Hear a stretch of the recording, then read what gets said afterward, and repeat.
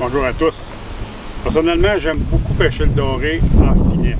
Avec une canne légère, un fil assez fin, ça s'habilise, puis euh, un leurre qui va avec la pêche en finesse, c'est-à-dire un petit leurre de 3 pouces effilé. Rien de, rien de trapu, des leurres très effilés, comme ça. La raison est simple, c'est que des leurres comme ça, ça fend l'eau. Et puis, on a beaucoup plus de sensations de ce qui se passe au bout de la canne. En fait, on veut que ce soit le plus léger possible comme leurre, et puis qu'il y ait le moins de tirant d'eau possible pour qu'on ait le plus de sensations de ce qui se passe au bout de la ligne. Donc, il n'y a pas un meilleur leurre de finesse qu'un petit leurre de 3 pouces comme ça, tout en longueur, mince.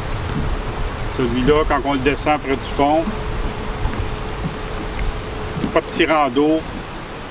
On sent vraiment tout ce qui se passe au bout de la ligne. Surtout si on a un, fil tressé, c'est encore mieux.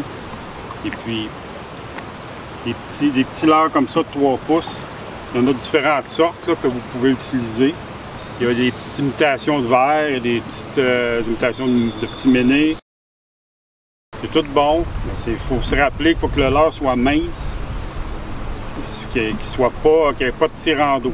Comme ça, on a vraiment tout ce qu'il faut pour euh, déjouer les dorés méfiants avec une pêche tout en finesse. Bonne pêche à tous.